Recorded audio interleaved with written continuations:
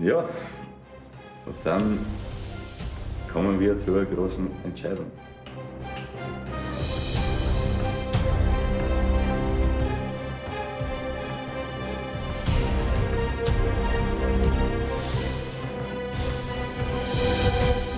Dass ich mich für keinen entscheiden werde.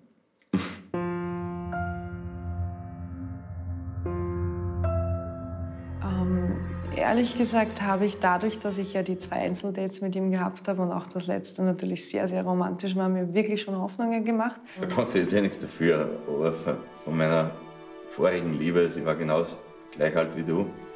Es waren viele Streitfragen, eben ich halt total in den Betrieben involviert, aber für die Freizeitgestaltung habe ich nicht immer da sein können.